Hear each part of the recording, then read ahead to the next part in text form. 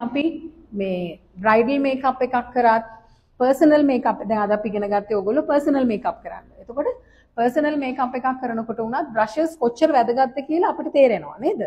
එතකොට ඉස්සෙල්ලාම අපි කතා කරනවා නම් ෆවුන්ඩේෂන් එක ගන්න තැන ඉඳලා බ්‍රෂස් හෝ ස්පොන්ජ් වර්ග පාවිච්චි කරන්න පුළුවන්. එතකොට ඔයගොල්ලෝ දැකලා තියෙනවා අර තියෙනවා මොනවාද මේ බියුටි බ්ලෙන්ඩ්ස් කියලා ලස්සන ලස්සන හැඩවල තියෙන ඒවා. ඒවා ඒවා මේ මොනවටද පාවිච්චි කරන්නේ? ඒව මොනවද? දැන් ඒවා අපි එකක්වත් පාවිච්චි කරේ නෑනේ අද. මොනවටද ඒවා පාවිච්චි කරන්නේ? ෆවුන්ඩේෂන් ලික්විඩ් ෆවුන්ඩේෂන් වලට විතරයි. ඒ කියන්නේ ඔයිල් බේස් ෆවුන්ඩේෂන් වලට විතරයි බියුටි බ්ලෙන්ඩ්ස් පාවිච්චි කරන්න පුළුවන්. ඒකට හේතුව ස්ටික් ෆවුන්ඩේෂන් ගාන්නේ පැන්කේක් ෆවුන්ඩේෂන් අපි ගාන්නේ මොනවද? වතුර අනු වතුර එකතු කරලා. ඒක වෝටර් බේස් එකක්. එතකොට අර ඔයාලා දැකලා තියෙනවද බියුටි බ්ලෙන්ඩ්ස් වතුරට එබුවාම වතුර එබිලා එබිලා වතුර උරලා උරලා යට යනවා. දැකලා තියෙනවා? හ්ම්. දැකලා තියෙන්න විදියක් නැහැ. ඒවැ සිදුරු නැහැ. ඒවා වතුර උරන්නේ නැහැ. හැබැයි මේ වගේ සිදුරු තියෙන ස්පොන්ජ් එකක් තිබ්බොත් දැන් මේ ස්පොන්ජ් එකේ සිදුරු තියෙනවා. වතුරට දාලා තිබ්බම වතුර උරවල චුට්ටි චුට්ටි ආ යටට බහින්න බලනවා. හැබැයි බ්ලෙන්ඩ්ස් හැම වෙලේම උඩ පාවෙනවා. හොඳද? දැන් ඒක ඔයාලා එකපාරට කිව්වට ඔයාලට ඒක ඔලුවට එන්නේ නැතුව ඇති. බ්ලෙන්ඩ් එකක් හැම වෙලේම පාවිච්චි කරන්නේ අපි වතුර පාවිච්චි කරන්නේ නැතුව කෙලින්ම බොටල් එකෙන් අරගෙන ගන්න ලික්විඩ් ෆවුන්ඩේෂන් වලට විතරයි. වතුර මික්ස් කරොත් ඒක දාගන්න බෑ. එතකොට අපිට ෆවුන්ඩේෂන් ගන්න පුළුවන් ස්පොන්ජ් එකෙන් එහෙම නැත්තම් ලොකු මේට වඩා ලොකු ෆ්ලැට් බ්‍රෂ් එකක්ද රවුන්ඩ් එකක්ද ඕන. නෑ. ඒකෙදි අපිට රවුන්ඩ් බ්‍රෂස් උත් පාවිච්චි කරන්න පුළුවන්. තේරෙනවද? දැන් අපිට දෙනවනේ මෙහෙම ගාන්න නම් මේක ෆ්ලැට් එකක්ම වෙන්න ඕනේ කියලා. එහෙම නෑ. රවුන්ඩ් බ්‍රෂ් වර්ගයක් තියෙනවා. සමහර ඒවා හොඳට සර්කියුලර් මෝෂන් අපිට ලස්සනට ගා ගන්න පුළුවන්. හරිද? එතකොට ඊළඟට අපි අයිෂැඩෝ ගන්නකොට මම විශේෂයෙන්ම කිව්වා බ්‍රෂස් වර්ග දෙකක් ගැන. මොනවාද? මොනවාද බ්‍රෂස් වර්ග දෙක? අනිවාර්යයෙන්ම තියෙන්න ඕනේ රවුම් රවුමට බැඳපු මේ වගේ බ්‍රෂ් එකක්. රවුන්ඩ් බ්‍රෂ් එකක්. අනිත් එක තියෙන්න ඕනේ ෆ්ලැට් මේ කර මුල මෙතන රවුම් මෙතන ෆ්ලැට්. එතකොට දැන් මේ රවුන්ඩ් බ්‍රෂ් එකකින් අපි අයිෂැඩෝ ගන්නකොට අපිට හරි ලේසි මෙහෙම සර්කියුලර් මෝෂන් ගන්න. එතකොට සමහර තැන්වලදී අපිට ෂැඩෝ ගා ගන්න වෙනවා නේද මෙහෙම. එතකොට ඕනේ අපිට ඒකට ෆ්ලැට් බ්‍රෂ් එකක්.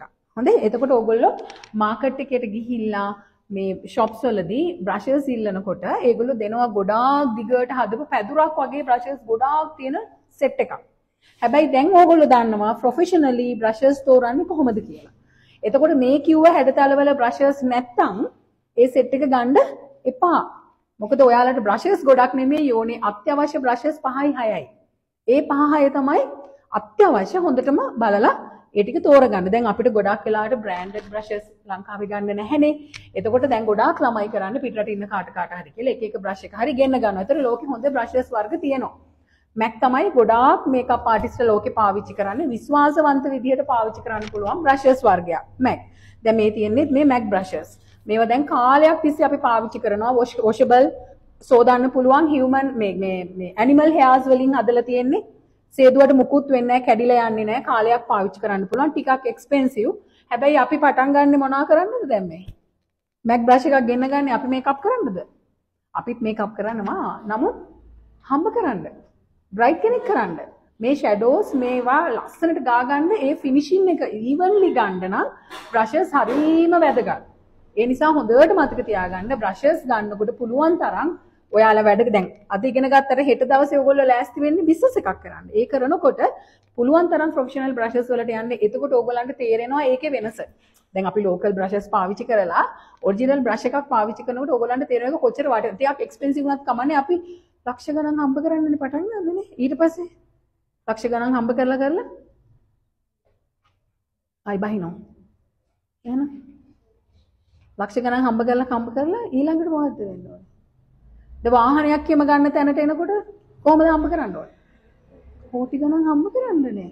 මේ පොඩි බ්‍රෂ් එකක් අපිට පාවිච්චි කරන්නේ මේ නිකන් මේ නිකන් ඉන්නවට කම්මැලිකමට මේකප් කරන්න නෙමෙයි. ඒ නිසා බ්‍රෂර්ස් කියන්නේ හරිම ප්‍රොෆෙෂනල්. දැන් මේකප් බ්‍රෑන්ඩ්ස් වලට යනකොට මේකප් වල ලස්සන කොච්චරද ඒ වගේම තමයි බ්‍රෂ් එකක් අපි ගන්නකොටත් ඒකෙත් ක්වලිටි එකත් එක්ක ගෑවෙන විදිය ෆිනිෂින් එක මාර වෙනස්.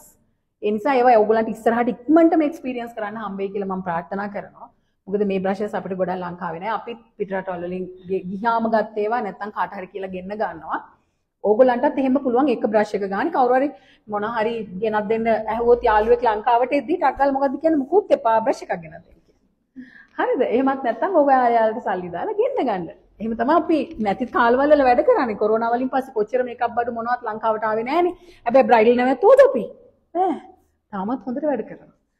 මේ දැනටත් ටිකක් දැන් නම් ටිකක් විතර නෝමල් බට් ඒත් අඩුයිනේ. ඉතින් නෑ කියලා අපි පුරුදු වෙච්ච මේකප් බඩු වර්ග නෑ අපිට රට යන්න බැරි වුණා කියලා අපි නෑ කාට හරි කියලා කියනවා. එහෙම තමයි උමනාව තියෙනකොට කරන්න ඕනේ. එතකොට මම බ්‍රෂස් ගැන කියන්න ගියේ පර්සනල් මේකප් කළත් එතකොට අපි ප්‍රොෆෙෂනලි මේකප් කරන්න පටන් ගත්තත් බ්‍රෂස් ටික හරි වැදගත්. ගොඩාක් අපි බලනවා මේකප් ආටිස්ලා පිටරටවල වල මේකප් ආටිස්ලා ගොඩාක් අපි ෆලෝ කරනවා.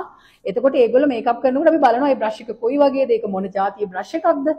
ටියුටෝරියල් එහෙම තියෙනකොට YouTube වල එහෙම ඔයගොල්ලෝ බලන්න ඒවා. දැන් අපිත් බලනවා. අපි දන්නේ නැති කොච්චර දේවල් තියෙනවද ඔයගොල්ලන්ට උගන්වන්න ඉස්සලා අපිත් බලනවා ගිහිල්ලා. අප්ඩේට්ස් අපිත් දන්නේ නැහැ නැත්තම්. ඒවා ඒගොල්ලෝ අලුත් අලුත් ක්‍රමවල බ්‍රෂස් පාවිච්චි කරනවා. හරිද? ඉතින් ඒ නිසා මේකප් එකක් ලස්සන වෙන්න ෆිනිෂ් ලස්සන ෆිනිෂින් එකක් එන්න ප්‍රොෆෙෂනලි මේකප් එක ලස්සන කරගන්න අනිවාර්යෙන් බ්‍රෂස් ටික අනිවාර්යෙන් ඉතාම වැදගත්. හොඳද? දැන් බණ්ඩාරවෙල ඕවා හොයාගන්න නැති වෙයි. හැබැයි අපි බණ්ඩාරවෙල ඉන්නේ කියලා අපි වැඩේ කොහෙවත් නවත්තන්නේ නැහනේ. නේද? ඒ නිසා ඒකට මහන්සි වෙලා ඒවත් ගෙන්නගෙන ලස්සනට මේකප් එක ප්‍රැක්ටිස් කරන්න ඕනේ. හරිද? රයිට්. එහෙනම් අපි අර වැඩේට යමුද?